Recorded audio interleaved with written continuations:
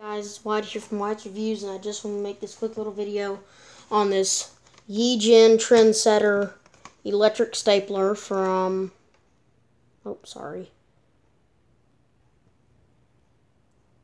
um, April of 2001. There you go. And so here's like the thing that ejects the that ejects the thing for the staples so you can put the staples in. There we go.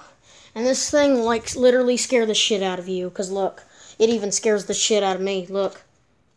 And it doesn't staple worth the shit. But no, actually it does staple worth the shit.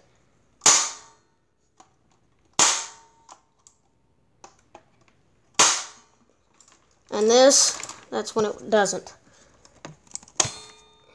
And yeah, but it works.